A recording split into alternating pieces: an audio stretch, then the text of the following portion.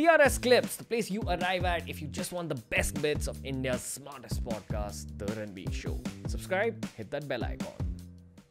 because I started working uh, when I was 11, 12. And then 13 is when I started making the money.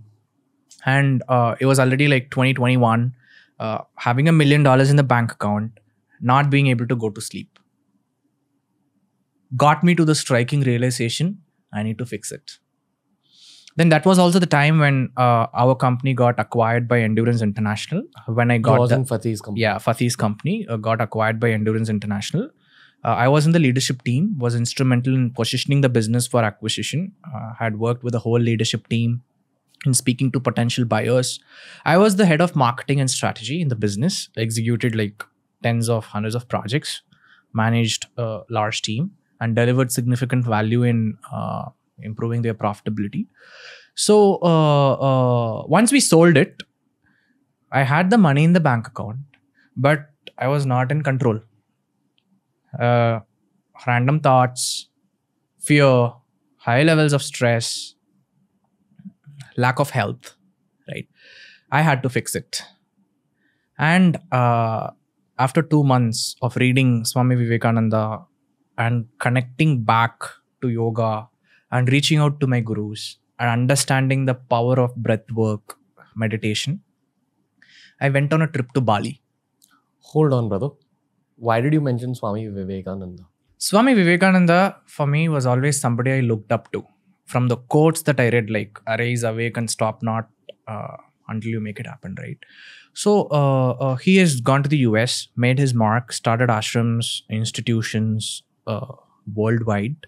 I'm Within getting a- goosebumps as you. Yeah, within a short period of time uh, that he lived, that also before 120 years, and the level of intellect and the intelligence that was showcased in his speeches, the thought, and what he manifested in those days without any resources was phenomenal and magnificent. Sort of a Naval Ravikant figure of that time in a more spiritual way. Yeah, in definitely. Uh, see, until then, my thought process about spirituality, I was an atheist.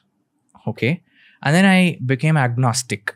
I was like, see, you cannot disprove the existence of God. More Warren Buffett style, right?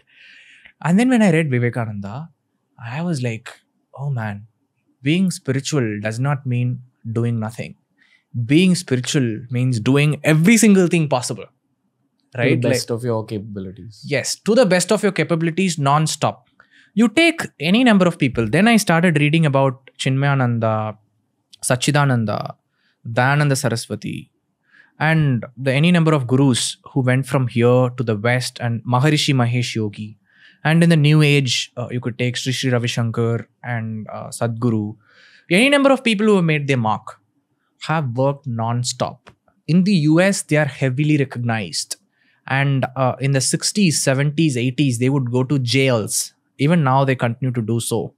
In running their programs of yoga for the inmates. And governments cities and these prisons have seen 60 to 90% reduction in crime after they would go through this program. Can you believe that? And every state has granted him citizenship all kinds of honorary awards this and that and whatnot which is why in the US all of these gurus are greatly respected now, right? I read a lot of them. Then I went on a trip to Bali for self-exploration and I wanted to take a couple of weeks of break from everything I was doing and look within, understand what was going wrong. And that's when I also quit eating meat. I physically observed in one of the meditation sessions uh, of the day when I had chicken and fish that my body and my stomach was taking more time to process it. And it was adding up to the lethargy and the lack of awareness and focus that i always wanted to remain in. And that state of ease and pleasantness that i wanted to manifest. And uh, uh, i was able to manifest the peace and pleasantness much more easier when i had vegetables and fruits instead of meat. Sattvic food. sattvic food. And that's when i decided uh, let's quit eating meat and i uh, i'm a firm person when i make a choice so i made the choice that day since then it was in 2015 i also wrote a big quora article uh, summing up my thoughts and what occurred to me and why i've changed that way Uh, it still is there, read by more than 50,000 people, 100,000 people, or whatnot. I do not know. So then uh, I quit eating meat. I uh, told myself money is not everything. And that realization had, already stuck. Is this the Swami Vivekananda effect? Yes. Also, to a large extent, uh, money need not be the driving factor of the action that I perform. I keep moving forward and onward and do my best and accept what happens. So, like, One one second, bro. Let's dial back a little bit. I'll tell you why. Because everything you're saying comes from spiritual places. Like so many of the books here are spiritual, and they say the same things that you're saying right now. Very few books that I have read speak about Swami Vivekananda in detail, which is why I'm constantly nudging you to talk about that topic because I want to learn. Like yes, absolutely. you know me now as a person, we've worked together as well. So I think we know each other to a certain degree at least. Of course. What do you think I can gain from reading about and the works of Swami Vivekananda? See, if you read the letters of Swami Vivekananda, you will understand the tone, the context, and the theme of the conversation he's trying to have with his disciples and people who followed him, right? So, uh, he always wanted to create a world and be the solution to the problems that were existing, whether it was illiteracy, whether it was, uh, you know, cleanliness, or whether it was spiritual education and advancement of people which is why he has established uh, you know so many institutions i think the, the ramakrishna vidyalaya uh, which runs across the country with uh, uh, ramakrishna mission runs hundreds of colleges universities where almost uh, uh, all of my family members in the previous generation got educated right? So he saw illiteracy as a major thing that is dooming the indian population and keeping them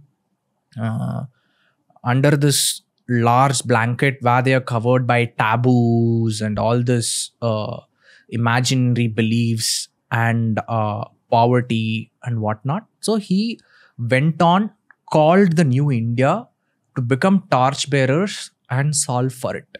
And solving for any problem requires utmost dedication and at the same time relentless action.